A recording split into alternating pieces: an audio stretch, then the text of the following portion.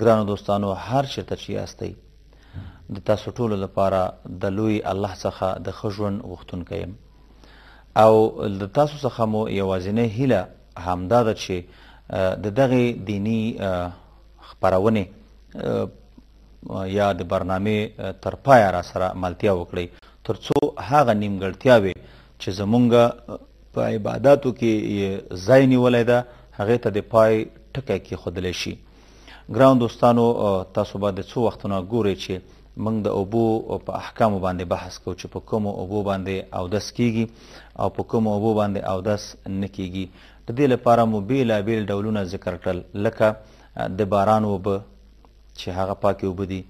د غټو بحرونو اوبه چې هغه په کمو نجاستونو باندې خرابېږي نه یا د خوړونو او د رودونو اوبه چې ظاهرا پکې نجاست نه معلومیږي هیڅ کوم مشکل پکې نشته دا روانې اوبه وي یا هغه کاریز او هاوس چې لس په لسو کې وي او یا یې د همدغونه مځمکې په مقدار ځای کې جوړ وي چې مستطیل وي، مثلث وي او یا مدور او ګول وي یا په همدې شکل باندې د سا او د کوهي اوبه چې د هغې په ځینو برخو باندې مو هم بحث وکړ او یا د زمزم اوبه چې په هغې باندې اودس کیږي یا نه کیږي په دې باندې مو بحث وکړ یو برخه چې پاتې ده په هغې باندې همدغه اوس بحث کوو چې تر څو هغې ته متوجه اوسو دا چې اوبو ته نجاست ورلیږي او طبعا هغه اوبه له ځانه سره خرابوي او له منځه یې وړي نو موږ باید څو خبرو ته نور هم متوجه پاتې شو چې تر څو چې اودس مو په صحیح شکل باندې شوی وي ځکه چې اودس د لمانځه لپاره تر ټولو لومړنی او اولنی شرط دی ګرانو دوستانو څو ډولونه نور دي چې باید ورته متوجه شو په اوبو کې داسې پاک شی غورځېدلی دی چې د اوبو خوند له منځه وړی بوی هم له منځه وړی لکه یو څوک دی چې یا په یو اوبو کې ډیر عطر ولیدلی دي په طبي شکل عطر اوبه دي خپله پاکې دي ولې د اوبو خوند او بوی یې له منځه وړی. د عطرو خوند بېل دی او د اوبو خوند بېل دی، همداسې یې بوی. نو که موږ په کومو اوبو باندې اودس کوو او هغه اوبه بېخي خوند او بوی یې بېخي بدل و، نو دې ته باید هم ډډه وکړو. یا اوبو ته سرکه ولېدلې ده، سرکه، چې هغه بېخي تروشې دي، د اوبو خوند او بوی له منځه وړي. اوبو ته غوړي ورولېدلي دي. چې هغه هم اوبه غوړوي او هم د اوبو خوند له منځه وړي اوبو کې شیدې دي اوبو کې شملې دي دا ټول پاک شي نه دي یا په اوبو کې د چې د سابقه علما په اصطلاح باندې زمي او اشنان او باندې شنه دي چې پاک دي لکه بعضی د بوټو بور لیدل دي د مثال په تور باندې بعضی د بوټو وبدي دوايان دي هغه وبو تور لیدل په خپل پاک دي یا همدغه سي بعض نور شیونه دي چې اوبو ته کله ولويږي هغه د اوبو خوند او بوی لمنځه وړي نو په دغه سي اوبو چې لکه څنګه چې په ابتدا نه علما کرام په دې باندې دا شرط لګوي چې د اوبو کې درې صفات ډیر مهم دي چې دا باید روغ وي نو بیا په او دس کیږي چې یو د اوبو خوند دی دویم د اوبو رنگ دی او دریم د اوبو بوی ده چې د دې حفاظت ډیر مهم دی او دغه شیونو سره په طبي شکل د اوبو خوند او بوی لمنځه ځي یا اوبو کې صابون لویدلی دی خوند یې بیخي چکۍ د صابون پکې لویدلی دی د اوبو خوند یې خراب خراب کړی دی او رنګ د اوبو هم خراب کړی دی بوی د اوبو هم خراب کړی دی نو بیا دغلته له دغسې اوبو نه ډډه پکار ده یا اوبو ته بعضې ادویه دوایانې ورلوېدلې دي بعضې شربتونه اوبو ته ورلوېدلې دي طبعا چې د اوبو خوندونه له ځه خوند ځان سره خراب کی د اوبو رنګ او بوی ځان سره خراب کی بیا په هغې باندې او دس نه کیږي ځکه په هغې باندې بیا د اوبو اطلاق نه کیږي هغه اوبه بیا بدل ښکاري ځکه موږ او تاسو هغه ادویه چې د شربت په نوم باندې استعمالوو هغې باندې د اوبو اطلاق نه کیږي یا مونږ او تاسو شیدو نه استفاده کو پاک او حلال شی ده په هغې باندې د اوبو اطلاق نه کېږي یا له شملو نه یا له مستو نه استفاده کو په هغې د اوبو اطلاق نه کېږي همداسې عطر دی چې مونږ او تاسو د هغې نه استفاده کو او استفاده ترې یو مسنون عمل ده ولې د اوبو اطلاق ورباندې نه کېږي نو دغلته باید مونږ دقیق اوسو چې د اوبو خوند او بوی او رنګ په نظر کې ونیسو په همدې شکل باندې اوبو ته مخدره توکي ولیدلې دي اوبو ته مخدره توکي بلا ویډرونه لري اوبو ته شراب لویدلې دي شراب خو ګرانو دوستانو هم نجس دي او هم حرام دي د نجاست علت دا ده چې لکم شي چې شراب جوړیږي د دې اصل حقیقت لمنځه ځي او دا خساکیږي نو په دې وجه شراب نجس دي او نجاست هم عادي نه دی ځکه نجاست دوه ډول لري چې یو ته غلیظه وي بل ته خفیفه وي په غلیظه نجاستونو کې شراب وینه انساني نطفه غایته مواد د انسان دا هغه څه دي چې دا ټول نجاست غلیظه ده دا که اوبو ته ولوي د اوبه نجسه کوي که په وجود باندې وي وجود نجسه کوي که په جامه باندې وي چې خپل حد او مقدار زیات شي چې هغه د یو ورغوي د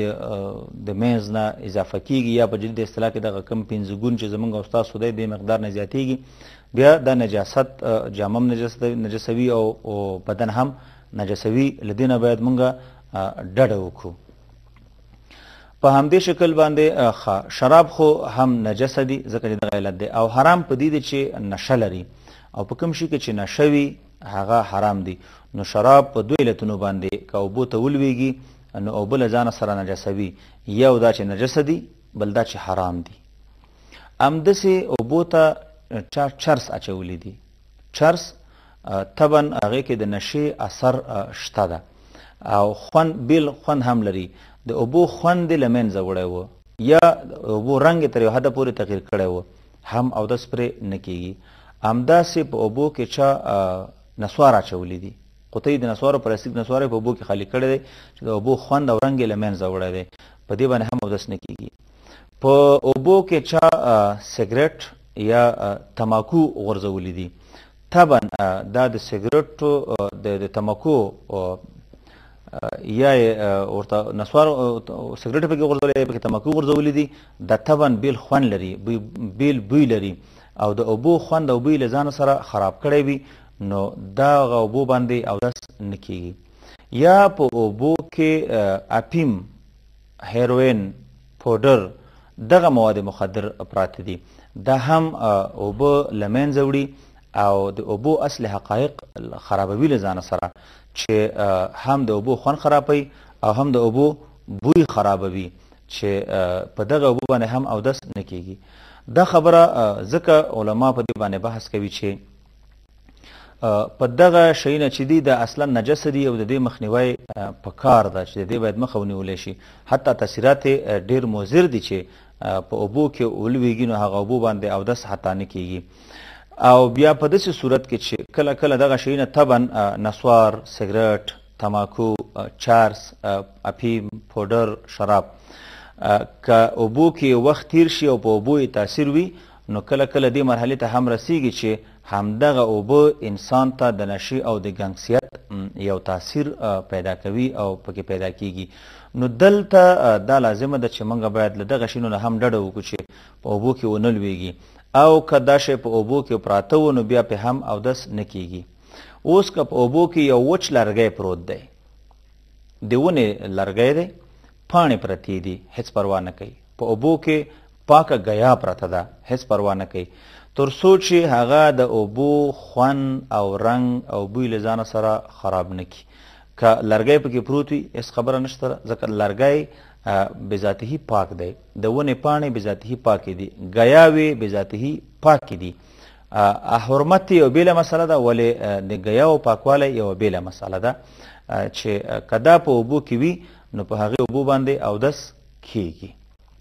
مشکل پکې نشته ولې که دغه د مواد مخدرو خپل دغه مواد مخدر په وبو کې وي یا د دې بوټي پکې وي د مثال د تماکو بوټي وبو ته چاچولې دي د چارسو بوټي وبو ته چاچولې دی د اپیمو بوټي یعنی د کوکنار دا چاته اچولې دي او په دې کې د غوبې هم دا شینه پکې ورسته شو د وبو خوند او رنگ لزان سره خراب کړي وو نو په دغه وبو باندې ګران دوستانو او داس نکېږي او لدینا جدا ډډه پکار ده ترڅو چې عبادت مو خراب نشي یا بعض شینه او بوته د ولویدل شي هغه تاثیر نه غورځي البته طبيعتونه بیل دي لکه یو څوګ بو کې لاړی تو کی بلغم پکې تو کی نو دا هغه شی دی یا پکې یو څوک قی وکي استفراق په بو کې وک نو دا شینه استفراق سمدستی و او د ډوډۍ هغه اصل حقیقت پکې ښکارید هضم شوی نه و نو وبنه نجسوي البته دلته طبيعتونه بیلا بیل دي دغه سي اوبو باندې د باز خلکو طبيعت نه اخلي لکه اوسو اوبو کې لاړې توکي د بل کرکه ته نه کیږي دته مکروه تبعی یا مکروه تنزیهی ویل کیږي بلغم چا په وبو کې توکل بعض خلکو کې دا عادتي عمومي هاوس کې یا کاریس کې یا پلختی باندې ناس یو دس کوي یو څوک لګیا دی او پوزه په وبو کې سون کوي لاړې په وبو کې سون کوي نو خکته چې بل سړی ناس دغه طبیعت بیا نه مني یا په همدې شکل باندې یو څوک بر سر کې ناسته استنجا کوي او ښکته بل لګیا دی اودس کوي نو دغه بیا ادبا او احتراما دا کار نه ده پکار ځکه د خلکو طبیعتونو ته به مشکل نه ایجادوي نو که دغسې حالات رامنځته شول په اوبو کې چا لاړې تو کړې د یو چا طبیعت دا خبره منله چې اودس پې وکړي هېڅ کوم شرعي معنې نشته ده یا د مثال په تور باندې بعضې دوستانو زمونږ کله کله کرکه کېږي وي دا اوبو به ما پې اودس کوه فلاني پې خوله کېښودله او ویې څکلې ګران دوستانو که انسان په یو اوبو باندې خوله کېږدي اوبه ترې وڅکي په هغې اودس کېږي حتی که یو کورنۍ په شکه چې مردارخوره په شکه نه وي هغه په یو اوبو کې ژبه ووهي نو اودس پرې کېږي حتی که یو ځای کې اوبه ډنډ وي اس او خره له هغې نه اوبه وڅکلي بیا هم په هغې باندې اودس کیږي خو د ځینو علماو په نظر باندې ځینو علماو چې اودس هم کوي او تیمم به هم وهي ته هغه شک له منځه لاړ شي البته که په اوبو کې سپي خوله ووهله او یا نورو نجسو شیانو پکې خوله ووهله او یا یو څوک لاس یې ناپاکه و اودس یې نه و او په اوبو کې یې ګوته کړه نو په دغسې اوبو باندې نه غسل کیږي او نه پرې اودس کیږي که د یو چا لاس په تمامه معنا پاک و او اوبو کې لاس که نو بیا هم اودس ورباندې کیږي دغه ځای کې بیا ډېر شک ته توجه اړول نه دی پکار دا بیا کوم مشکل نه ایجادوي او یا دا چې د یو چا طبیعت ومني البته کم شی چې شرعا ناروا ده حرام ده له هغې نه ځان ساتل پکار دي یا کله کله کم فکر وي په اوبو کې چینجي مړه کیږي خو مغه د اوبو خپل چنجي دي نو په غي باندې هم اوبه نه نجسه کیږي یا نور بعضی اشیاء چې هغه پاک دي او د اوبو سره اړ لري د اوبو په غورځېدلو باندې هغه کې مشکل نه پیدا کیږي نو پروا نه کوي لنډه دا چې هر هغه اوبه چې نجاست پکې ولوېده د اوبو خوند او رنګ له ځانه سره خراب ک د اوبو بوی له ځانه څخه خراب ک حتی که پاک شي نه هم وي خو چې د اوبو دوه صفات له ځانه سره خراب کړو په دریو کې دوه ډیر دي نو بیا او دس پرې نه کیږي او په کوم اوبو باندې چې او دس کیږي هغه دا چې نجاست کم وي